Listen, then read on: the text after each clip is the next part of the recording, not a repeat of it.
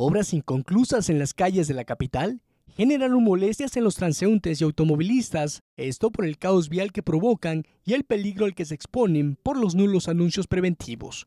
Y es que al menos en las calles cercanas al zócalo de la ciudad, se pueden observar una cantidad de perforaciones que los servicios de agua potable y alcantarillado de Oaxaca han hecho supuestamente para componer las tuberías de agua potable.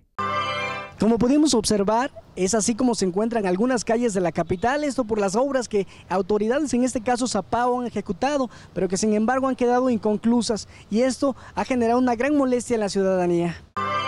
Al menos para algunos comerciantes, esta problemática ha tenido repercusiones en sus negocios, pues ahuyenta la clientela e incluso genera un obstáculo para que los automovilistas estacionen para comprar.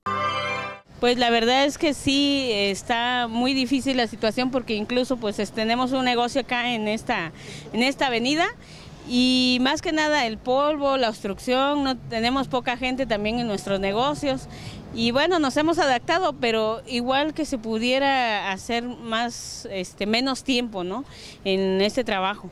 Ya se lleva un buen rato, a veces hay fugas también de agua, se lleva un buen tiempo de estar este, tirándose agua, ¿no? Que es tan vital para todos y la necesitamos. Sin embargo, ha habido ocasiones, hasta dos veces, eh, que ha pasado eso.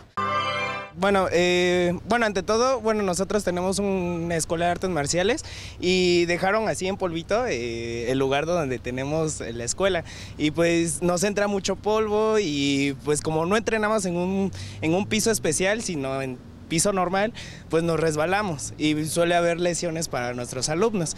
Y bueno, también conozco un amigo que trabaja en el mercado de la Merced y tuvo un accidente por estos problemas.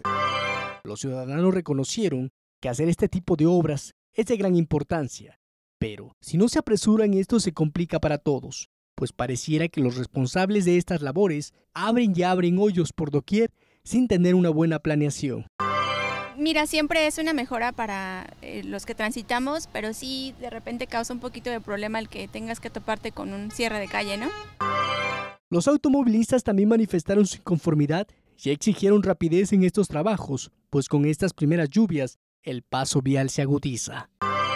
Como automovilistas, pues todas las obras que se hacen pues nos obstaculizan el, tránsito. ¿no? Sabemos que son obras que pues a lo mejor se requieren para eh, un mejor servicio a la sociedad, pero pues yo creo que falta una mejor planificación y programación de ellas. Con imágenes de Pablo Cruz, informó para MBM Televisión Deimo Sánchez.